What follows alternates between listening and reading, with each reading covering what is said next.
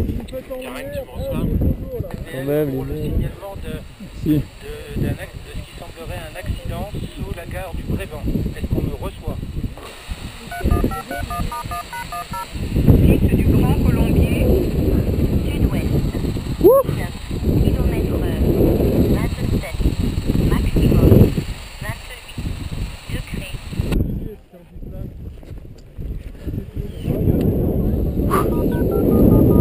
D'obtenant